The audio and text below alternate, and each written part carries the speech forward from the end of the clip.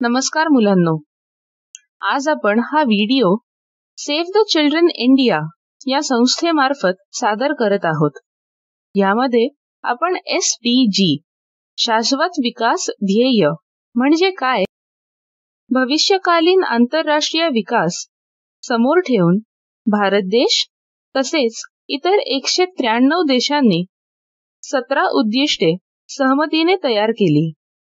त्यानुसार दोन हजार तीस पर्यंत जगातील गरिबी पूर्णपणे समाप्त करून प्रत्येक नागरिकाला समान न्याय स्वतःची ओळख सुरक्षित व उत्कृष्ट जीवन मिळाले पाहिजे. तसेच तुम्ही सर्व मुले उद्याचे भावी नागरिक आहात. मुलांचा विकास म्हणजेच देशाचा विकास होय. म्हणून ही उद्दिष्टे तुम्हाला माहीत असणे गरजेचे आहे. चला तर मग त्यातील चांगले आरोग्य आणि चांगले जीवन हे उद्दिष्ट पाहूया. ज्यांचे शरीर व मन पूर्णपणे निरोगी असते कधीच आजारी पडत नाही त्याला आपण चांगले आरोग्य आणि चांगले जीवन म्हणतो. आपण निरोगी असू तर आपण आनंदी व सक्रिय राहतो. आपल्या चांगल्या सवयी आपल्याला एक चांगला व सक्षम नागरिक बनवतात. त्यामुळे आपण स्वतःला व आपल्या परिसराला स्वच्छ ठेवणे गरजेचे आहे. तुम्हा मुलांना गोष्ट पाहण्यास आवडतेच. तर चला मग आपण एक गोष्ट पाहूया. सकाळी सकाळी आई म्हणते किरण लवकर उठ ना बाळा आठ वाजले. तुझी नऊ वाजता शाळा आहे. तुला अजून आवरायचं आहे? खोलीमध्ये किती पसारा पडलाय बघ. किरण उठतो. अरे बाप रे आठ वाजले. आज परत उशीर होणार. स्कूल बस तर आठ वीसलाच येते. आता काय करतो? दात न घासता आंघोळ न करता फक्त शाळेचा गणवेश घालतो. गणवेशाला पण इस्त्री नाही केली. राहू दे आता तसाच घालतो. बसमध्ये किरणचा गलिच्छा अवतार पाहून त्याला कोणी जवळ बसूही देत नाही. उभा राहूनच तो शाळेत जातो.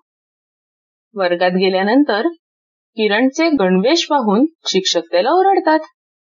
तसंच त्याची नखे पण कापलेली नसतात वाढलेली असतात. मग खेळाचा तास सुरू होतो. किरण फुटबॉल मैदानात जातो तेव्हा शिक्षक टीमचं सिलेक्शन करत असतात. किरण मित्रांसोबत फुटबॉल खेळतो पण त्याचा स्टॅमिना कमी पडतो. का बरं?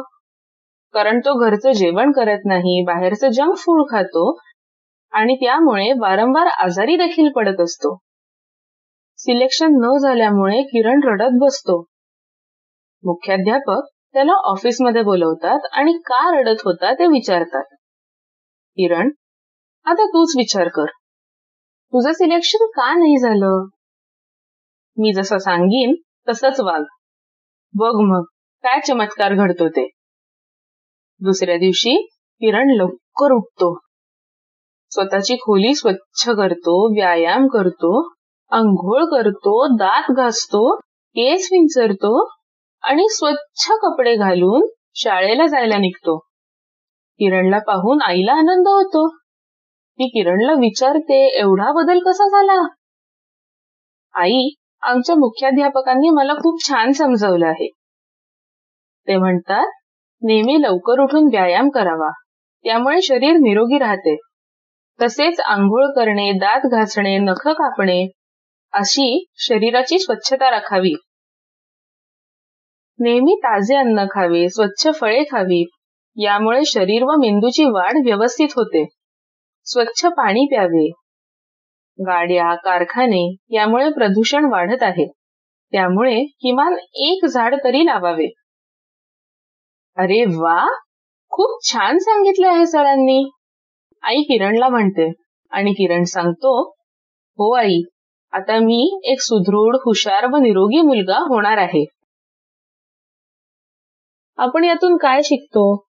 नियमित व्यायाम करावा पोषक आहार घ्यावा घर परिसर तसंच स्वतःची स्वच्छता राखावी. प्रदूषण कमी करावे. व्यसनाधीनता कमी करावी. आणि रोगांचा प्रसार आपण रोखला पाहिजे.